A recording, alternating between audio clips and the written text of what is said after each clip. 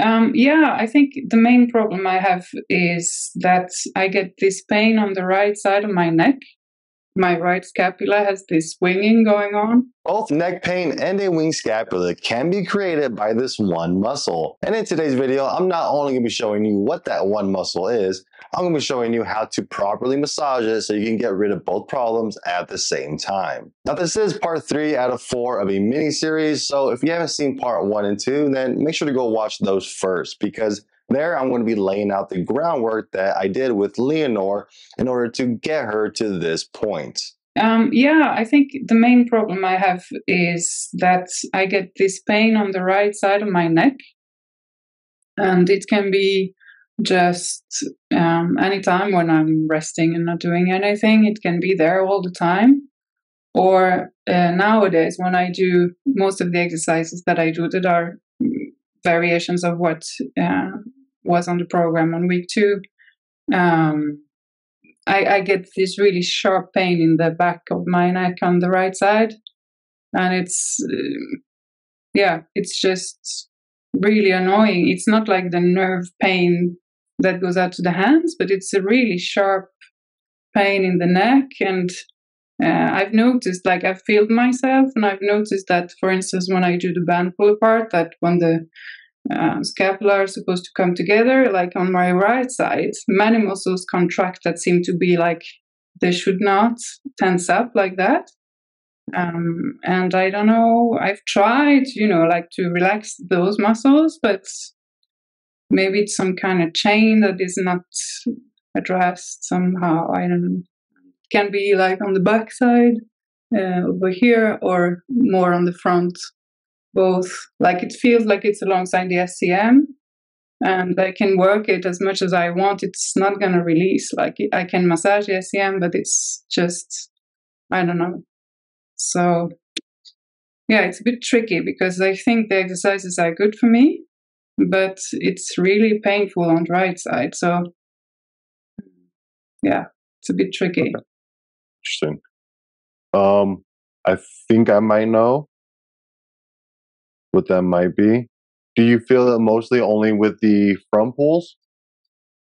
No, um, I've tried also like the one uh, against the wall when you have to open your hands like this. Uh, same there. Um, what else? Uh, yeah, I can show you if you want to see. Like I don't know. Uh, yes, please. Uh, I have uh, filmed it, so let's me. Let me see, make sure my thing is okay. We can share. There we go. It looks like it's good now. Okay, so this is um, which one was it? This was the band pull apart one.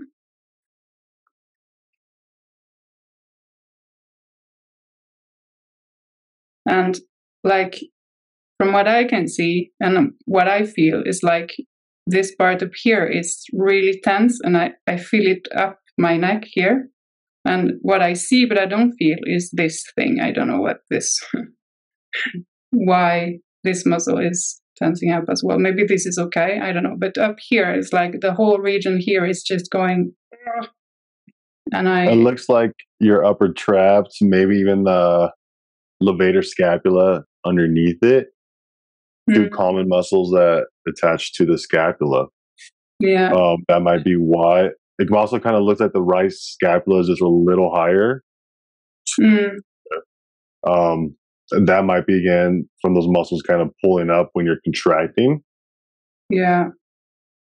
One quick fix we can try. You can try next time, just whenever. If you when you do your front pulls, you keep your shoulders down and back and you're kind of instead of just pulling back, you're thinking about down, shoulders down and back the whole time now. And that will disengage the upper traps a little bit, but we might need to just massage that area a little bit before you do this. And hopefully they can disengage. Hmm. Sure, I can try. And uh, I don't know if you remember, I showed you like the um, my right scapula has this swinging going on. And so it's been really hard to get the external rotation to work without losing this scapula position. So this is also something that I find really hard to engage properly. I can show you this as well if you want. Yes, please. Um, let me take it. So I didn't film low enough, but I think you're going to see on the left side everything's fine. Now I'm just doing one side at a time. So this I think it's okay. But then when I if I don't um, if I just do opening up to the right side, no, still left.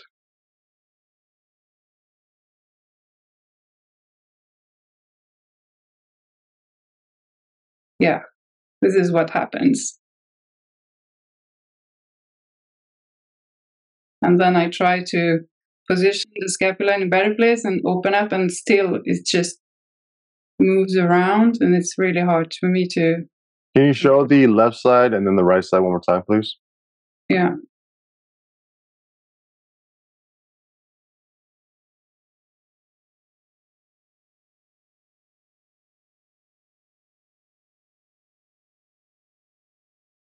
This feels okay for me, and I guess it looks okay. And then the So right side. to the right side, the lower angles popping out. Yeah. You're trying to see how can I keep that glued together. Yeah, and there I try to put it on the right spot, but it still is not working. So th- Okay. these are my main uh, problems. That the exercises are very challenging to do, and I've had a hard time finding some kind of external rotation on the right side that I can manage to do, and does the yeah engages the correct muscles. All right, so as you can see here, whenever she performs some kind of external rotation within the shoulder, she ends up having some kind of wing scapula, which is when that lower angle pops away from the body. We can see that with that shadow basically where it pops up. And because she's been trying to work this now by strengthening not only the rhomboids but also the serratus anterior, we had to figure out a different solution. So here's what we did. If we take those first clues, which is her neck pain, and then we combine it with that bulge we saw whenever she had that wing scapula. We can kind of come to a simple conclusion here as to which muscle might be the issue. And that one muscle is going to be the levator scapula. And even though I mentioned it briefly in the last video, I do believe now that is the main problem because we've worked on all the other issues. Now, the reason why I believe the levator scapula is going to be the biggest reason is because number one, when the levator scapula gets tight and full of trigger points,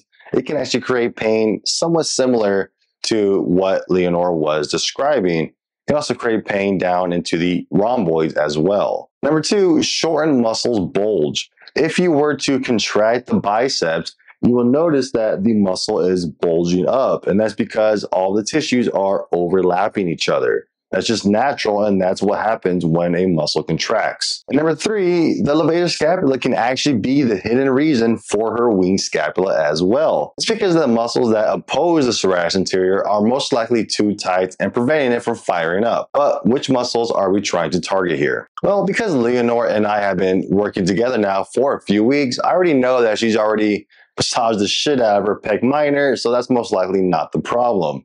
I also know that she's barely touched the rhomboids a little bit, so that could be a cause. But one that I know she probably hasn't touched yet is going to be the levator scapula. And then when you add all these other problems like the neck pain included, this makes it even more clear that this is most likely the problem. So how do you massage out the levator scapula?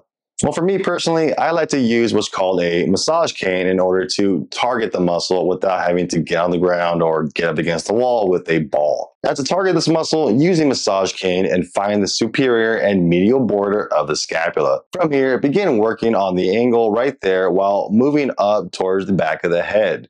This is where the muscle is located. What you're want to do here is simply look for the most tender spot you can find and begin massaging it out. You can either perform some static pressure by just hanging out there. You can perform some micro movements by moving back and forth and side to side. Or you can perform a pin stretch by laterally flexing the neck to the other side or moving the arm up, which will then create an upper rotation and stretch out the muscle as well. Massage out that muscle with whatever technique you want or a combination of them for roughly two to five minutes before you try to work out that serratus anterior. You can even try rolling out the rhomboids to see if that helps you even more. Now, if you want to see how all this turned out for her wing scapula and her thoughts on the 21 day TOS challenge, then make sure to click on the video in the top right corner.